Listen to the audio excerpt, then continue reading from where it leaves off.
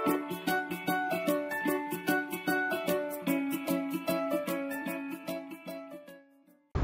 الله الرحمن الرحيم. دلوقتي هنتكلم على ال blocking scheme. ال blocking scheme أحد ال teleprotection communication schemes مثلا هنا عندنا في ال distance ممكن يستخدم مع الخطوط الطويلة أو الخطوط القصيرة. الفكرة فيه هنا إن هو بيبعت ال carrier send بتاعته مع ال Z reverse أو ال zone اللي ال reverse معنى كده إن هو شايف ال fault بره الخط بتاعه وبالتالي هو مسميه blocking على أساس إن حتى ال carrier send اللي هيتبعت ده بيعمل إيه؟ block block على مين؟ block على ال aided scheme عكس ال overreach ال overreach أو ال underreach اللي هو permissive overreach transfer trip يعني ال carrier send اللي بيتبعت بيتبعت عشان يسمح بالايه؟ بال aided trip أما هنا ال carrier send اللي بيروح عشان يعمل block على مين؟ على ال aided trip ملوش علاقة بال basic scheme طيب خلينا نفترض هنا إن ال fault حصل عندنا هنا بره الخط بتاعي.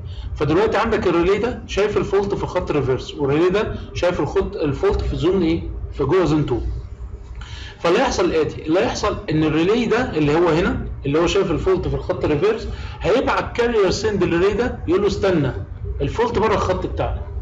فساعتها اللي يحصل ال carrier send اللي اتبعتت من هنا هنا راحت عامل block على مين؟ على ال aided ال trip هنا حلو كده الكلام؟ مظبوط. طيب يبقى ال carrier send هيروح ال carrier send ده راح عمل إيه؟ عمل block. طب افرض ال fault جوه الخط بتاعي.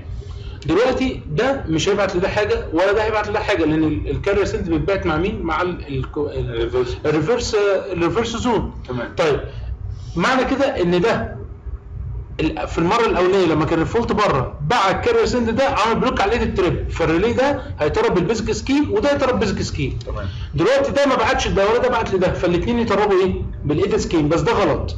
ليه بقى؟ لأن أنت ده ما بعتش ده أو ده ما بعتش ده. إيش ضمنك اللي هو ما بعتش بسبب إن ال fault جوه الخط مش ممكن يكون ال fault بره الخط بس ال communication scheme ال communication ما بين الخط ما بين ال- ال- الخط بتاعه وما بين ال relay ده وال relay ده في failure اذا عشان ي trip aided scheme لازم ما يجيلوش carrier send من الناحية الثانية plus لازم تكون ال communication مالها. ال communication healthy خلاص كده؟ يبقى ال carrier send اتبعت مع reverse zone ال aided trip يشتغل لما يشوف Z 1 B plus آه، ما يبعتلوش. carrier ما سي plus ان ال communication مالها. ال communication بتاعتك إيه؟ healthy هي بس في آه، تركاية واحدة بس في ال scheme ده فيهاش حاجة أكتر ولا أقل ان بيقول لك إيه؟ بيقول لك الخط ده شايف reverse من هنا لهنا. تمام كده؟ طيب. ال- بالنسبة للخط ده بقى لو شايف forward مثلا من هنا لهنا يعني دي المسافة اللي هو بيغطيها في ال forward حلو كده الكلام؟ طيب. هل المنظر ده كده صح؟ يعني هل ده يغطي reverse مثلا نفترض لحد النقطة دي فقط وده يغطي forward لحد المنطقة دي فقط؟ الكلام ده غلط. ليه بقى؟ بيقول لك هنا لو حصل fault في المنطقة اللي هي دي بقى واحد فيهم هيشوفه forward جوه zone zone two بتاعته والتاني مش هيشوفه reverse فده مش هيبعت لده حاجة فبالتالي ده هي trip إيه؟ aided scheme إذا لازم ال reverse zone بتاعت ال breaker دي تغطي أكبر من اللي تغطيه zone 2 بتاع الايه 2. بتاع. بتاع ال breaker اللي قصادها الناحية الثانية في ال blocking ده في ال blocking طبعا plus في معلومة برضو مهمة جدا عشان برضو محدش يجي يرسم كده وخلاص. شايف الخط الفوقاني ده اللي هو اللي هو مثلا ال breaker دي بتغطي zone 2 قد إيه؟ لازم ال- القيمة دي كلها ما تعديش 50% من ال fault من الخط اللي بعدك. ليه؟ عشان ما يحصلش overlapping ما بين ال breaker دي وال breaker الناحية الثانية يعني لو ال breaker دي بتغطي مثلا لحد مثلا مثلا ت- 70 أو 80% حلو كده الكلام؟ ودي مثلا برضو بتغطي مثلا zone 1 مثلا لحد 70% بس. لو fault حصل عند 75% ده شايفه zone 2 وده شايفه zone 2 فالاثنين كده هي trip وا إيه؟ هي trip وا مع بعض. فلازم ال zone 2 اللي بيت cover عن طريق ال breaker دي يكون عند 50% بس من الخط الايه؟ من الخط بعد. 50% من أقصر خط بعده كمان من أقصر خط. تمام. تمام؟ عشان حتى لو في كان خطوط طويلة يبقى معنى كده يعمل overlap على الخطوط القصيرة. تمام كده الكلام؟ طيب. عشان نشوف الكلام ده بنخش في ال device configuration active عندي هنا في ال teleprotection ال blocking scheme وبعد كده هخش عندك هنا في ال matrix. هخش أول حاجة في ال teleprotection distance هستقبل هنا ال carrier receive على channel 1 طالما إن أنا هشتغل 2 terminal خلاص 2 terminal بس. أنا شغال أصلا 2 terminal وهاخد binary input تاني لل channel faulty عشان أتأكد إن ال fault ال channel healthy ولا مش healthy تمام؟ هستخدم هنا ال binary output بتاعي مع ال distance general trip اللي هو آه، آه، رقم 20 وابعت أنا عندي هنا الايه ال setting بتاعتي. تمام؟ هبتدي دلوقتي إن أنا أروح هنا على ال Freja. احن الصفحة الأولى healthy الصفحة الثانية هو الصفحة الأولى مثلا healthy. لمدة نص ثانية ولا حاجة والصفحة الثانية فيها fault جوه Z 1 B. هشوف دلوقتي أنا هحقنه مع carrier receive تمام؟ شوف بس بعت هو لسه. تمام؟ مع carrier receive فالمفترض كده ي trip إيه basic scheme اللي هي zone 2 اللي هي 400 إيه؟ millisecond مع without carrier receive without carrier receive ضرب إيه instantaneous تمام كده؟ تمام كده؟ طيب تعالى بقى نعمل إيه؟ نديله هو دلوقتي أنا حقنت zone 2 أو Z 1 B يعني بدون carrier receive وبالنسبة له أنا ما اديتوش ال binary input بتاع ال channel faulty فبالنسبة له شايف إن الدنيا healthy فاشتغل إيه؟ اشتغل aided trip اللي هو بال- بالصفر بال- بالصفر بتاعك لو أنا بقى اديته channel faulty وجيت حقنت هنا بقى اشتغل بالايه؟ بال basic scheme اللي هي كام؟ اللي هي zone 2 تمام كده؟ طيب ولو عايز أشوف الزمن بتاع ال- ال- ال send بتاع ال carrier send أشيل ال output contact بتاعي من هنا وأروح للإيه؟ لل teleprotection distance وأجي هنا في ال teleprotection distance اختار الايه؟ ال- ال carrier send بتاعي. فين ال carrier send؟ اي carrier send signal تمام؟ ابرمج عليه هنا. وابعت ال signal بتاعتي على في الحالة دي أنا في الحالة دي أنا مضطر هنا أروح احقن هنا reverse وبرضه نفس الكلام. طالما احقن reverse احقن healthy في ال reverse أهو. والصفحة الثانية احقن إيه؟ reverse zone وطبعا reverse عندك ب 5 اوم فنحقن مثلا 4 اوم تمام كده؟ ونشوف هيطلع الايه ال- الكارير سند إمتى وافترض يطلع انستنتينيوس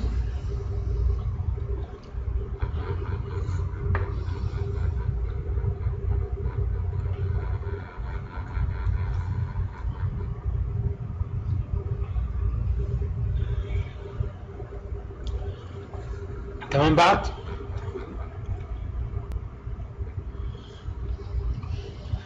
تمام؟ خلص هو كده فوق؟ لا لسه. كده بعد؟ كده خرج الايه؟ ال carrier send بتاعته ال instantaneous مع zone ال reverse لو أنا خليتها هنا كده forward. لا هو كده شاف forward reverse إيه ده؟ انت لا إحنا الصفحة الأولانية بقى كانت مون forward عشان الصفحة الأولانية آه. reverse وبتاع. الدنيا عندي هنا كده forward. ما طلعش 10 مظبوط تمام. نعمل بقى بعد كده ال current ال current reversal بالمرة على ال blocking scheme ماشي. طيب خلاص هنوقف الفيديو ده كده لوحده. نكمل current reversal طيب ال current reversal هنا. تمام تعالى بقى نبص. الفكرة هنا في ال current reversal نفس الفكرة بالظبط. إن أنا ال breaker اللي عندي دي شايفه reverse وال breaker اللي هنا شايفه forward فلو حصل إن ال breaker اللي هنا دي فتحت قبل ما ال breaker الثانية اللي قصادها تفتح وحصل إن دلوقتي ال fault بقى ماشي في التيار ماشي في الاتجاه ده راح يغذي ال fault فال breaker دي كانت شايفة ال fault reverse وبعد كده شافته إيه؟ forward ودي هو خايف من ال response زي ما اتفقنا نفس الكلام في ال overreach خايف من إن ده ما يكونش لسه شايف ال fault reverse فإيه اللي هيحصل؟ تعال نشوف قبل قبل ما ال breaker دي تفتح إيه الوضع وتعالى بعد نشوف بعد ال breaker تفتح الوضع. قبل ما ال breaker تفتح إيه الوضع؟ ده شايف reverse وده شايف forward zone 2 فده بعت لده block signal قال له ما تضربش ال fault مش إحنا كده نشتغل إيه؟ basic scheme. حلو. ده شايف ال fault reverse يبقى هو دلوقتي شايف reverse وبقى ال carrier send ده شايف forward ومستقبل carrier receive فعامل block لو جه وال breaker دي فتحت وال breaker دي شافت ال fault forward قبل ما دي تشوف ال reverse إيه اللي هيحصل؟ ده اللي عنده دلوقتي شاف المشكلة لكن ده ما شافش أي حاجة ده كان شاف forward ولا زي شاف forward ده يبقى شاف zone 2 وده لسه شاف zone 2 ده لما شاف zone 2 افترض يقطع ال carrier إيه ال carrier send صح كده؟ وده المفترض إن هو أصلا مش باعت carrier send يبقى اصبح عندي zone 2 و zone 2 و without carrier receive و without carrier receive فالاثنين ضربوا إيه؟ aided scheme فدلوقتي ده مفترض يمنع موضوع ال aided scheme على الخط التحتاني فإيه اللي يحصل؟ لما يشوف reverse وبعد كده يشوف forward أول حاجة عشان يمنع ال breaker اللي قصاده يضرب aided trip فمفترض ما يقطعش ال carrier send عنها. يبقى معنى كده ال carrier send اللي مطلعه يفضل طالع برضه للفترة الزمنية اللي هي بتاعت الايه after external fault دي طب بالنسبة له هو ده كده كده ما كانش باعت له حاجة. وهو شايف كان شايف zone 4 بعد كده شاف zone 2 يبقى zone 2 و without carrier receive وال communication healthy فمفترض إن هو يضرب إيه؟ instantaneous فهيعمل block على ال aided trip يبقى هو هنا عمل block على ال aided trip بس عمل إيه؟ وفضل مخلي ال carrier send طالعه لمدة الزمن. بعكس ال overreach ال overreach كان بيعمل block على ال aided trip وبيعمل block على ال carrier send. تمام كده؟ طيب. نروح للكلام ده. إحنا واخدين ال output contact بتاعنا مع مين دلوقتي مع ال carrier send اهي. صح كده؟ نكمل بقى شغلنا عليها الصفحة الأولى هيشوفها reverse تمام؟ الصفحة الثانية هيشوفها إيه؟ forward بس forward كام؟ مثلا أربعة. سبعة. صح. fault zone 2 نعم. سبعة. فيعمل إيه هنا؟ ال time بتاع الصفحة الأولانية كام؟ ال time بتاع الصفحة الأولانية؟ آه لا ما 200. خ- خلي مش كبير قوي خليه مش كبير. مثلا 220 خليه 220 مثلا. تمام؟ آه المفترض إن هو مستقبل carrier receive سيبك من إن هو مستقبل. دلوقتي خلينا نشوف ال carrier send هيطلع عامل إزاي. فأنت واخد الكونتاكت مع الكيروسين الكيروسين إحنا الأول الصفحه الصفحة الأولى أصلا هنعملها 3 أوم بواحد أمبير. ده fault fault. ب zone reverse الصفحة الثانية 7 اوم 1 امبير ده Z 1 B تمام؟ هنخلي هنا ال contact لما يفتح لأن هو هيقفل في الصفحة الأولى. أنت واخد ال contact مع إيه أصلا؟ مع carrier send تمام. فبس هاخد هنا ال contact لما يفتح لأن هو يبقى مقفول في الصفحة الثانية فالمفترض يفضل مقفول لنفس الزمن بتاعنا ال 100 milli second بتاعتنا. الصفحه الأولى 200 والصفحة الثانية 100 تمام؟ بس فحقنا كده. فصل على طول. طب لحظة واحدة. تمام لو إحنا زي ما شفنا كده لما قلنا sorry هنا بس استنى لحظة واحدة. آه ال carrier send هنا لما شفنا لما حقنا reverse وبعد كده forward اتقطع على طول. تمام وده اللي كان حتى جه معانا من شوية لما انت قلت لي خلي الصفحة الأولى كمان reverse والصفحة الثانية reverse آه، بس هنشوفها يعني أنا هفهمك دلوقتي القصة في إيه. ال carrier send هنا اللي هو اسمه teleprotection carrier send signal دي حتى في ال current reversal هتلاقيها بتتقطع على طول. ال signal اللي هي بيحصل لها استطالة هنا اسمها teleprotection transient blocking دي. هي دي اللي انت تاخدها. هي دي اللي بيحصل لها استطالة. فلو انت خدت دي التجربة الأولانية خليها عادي موجودة مش تفرق. طب ما هنتأثر عليها ما آه آه خ- ماشي ماشي ماشي. صح صح. هنشيلها دلوقتي. هنشيلها دلوقتي باظ فعلا؟ الفيديوهات.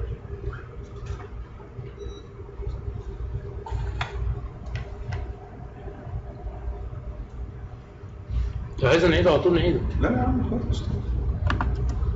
أنت أصلا بتسجل دلوقتي؟ آه آه. ماشي. أنا مش ظاهر.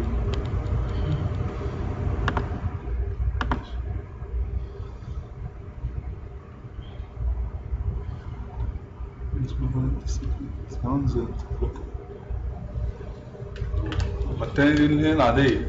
العادية دي هتتقطع على طول عادي. هنشوفها في ال manual برضه هفتح لك في ال manual نشوف اهي دي بقى لما تيجي تاخدها انت هنا كده تعالى الصفحة الثانية وخليها اهو. آه إحنا هنا أقول له لما تفتح. هتلاقي دي اللي هي بعد كام؟ بعد 100 milli second. تمام؟ هنجيب في ال manual ونرجع نفتح فيديو تاني. تمام يا باشا هنا بص اهي في ال manual جبناها. موضوع اللي هو ال distance transient block دوت ده اللي هو ال timing بتوعنا اللي هو البلوك تايم والويت تايم البلوك تايم والويت تايم البلوك تايم ده اللي هو فكرة إن أنت بقى تشوف distance reverse حسب ال zone اللي أنت حاططها فيبتدي يعد الزمن ده ويديك ال signal أول ما يشوف forward وما يشوفش reverse هنا بيبتدي بقى يحصل إيه؟ إن ال signal تقطع عنه بصفر فيبتدي إن هو يعد ال drop off time بتاعه. تمام؟ ويفضل دي إيه؟ مسجله عادي. وطبعا فاكر انت لو إحنا جينا هنا في الصفحة دي وحطينا دي ثلاثة في zone 1 فهتلاقيها اتقطع instantaneous الفكرة هنا فين؟ دي عاملة ال- الحتة اللي أنا عملتها دلوقتي دي زي ال MiCOM بالظبط.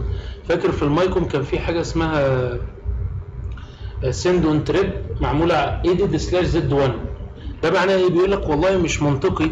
أنت دلوقتي قلت لي ال fault كان في الخط اللي فوقيك صح؟ فلما ده يشوف reverse وبعد كده يشوف forward zone 2 ساعتها يفضل عامل استطالة لل carrier send بتاعه اللي هو مطلعه صح كده ولا غلطان؟ فالمفترض لو شاف ال fault zone 1 يعني بعد ما كان شاف reverse وبعد كده شاف zone 1 ال aided slash Z 1 ده معناه أول ما يحصل Z 1 trip يبعت carrier send للناحية الثانية ليه؟ لأن هو لو شاف zone 1 هنا ده هي trip ب zone 1 بس بالنسبة لده لو فضل ماشي بنفس ال logic هيفضل باعت له ال carrier send فهيعمل هيعمل block على ال aided trip. فمفترض لا لو ده trip ب zone 1 يبعت carrier send لمين؟ يبعت آه ما يبعتش قصدي يقطع ال carrier send عنه فيخلي الناحية الثانية ت trip إيه؟ ت trip إيه؟ يقطع يقطع ال instantan يقطع يقطع ال- ال carrier send عشان ي trip instantaneous للناحية الثانية فلو أنت عشان كده إحنا من شوية عمالين نقول zone 1 5 ohm zone 2 8 اوم فلو أنت حقن هنا اللي هو zone 2 وبره zone 1 هتلاقي عمل لها استطالة بال 100 milli second. تمام؟ لو أنت حقنتها جوه zone 1 يعني بقت 4 أوم يعني fault جوه خطه مع ال trip بتاع آه مع ال trip بتاع zone 1 تلاقيه trip طبعا 73 دي إحنا عارفين ليه لأن هو ال relay أصلا البيبر بتاعنا عندنا ال relay بس بيشوف delay ما بين الصفحة الأولى والثانيه عشان يقلب من reverse ل forward بنشوف ال reverse forward أصلا بيتأخر 30 40 plus إن zone 1 أصلا بتحتاج 30 milli second عشان تعمل trip عشان كده طلع معانا حاجة و70 فالمايكون برضه تطلع حاجة و40 تقريبا أو حاجة و50 ملي سكند تمام كده؟ خلاص كده.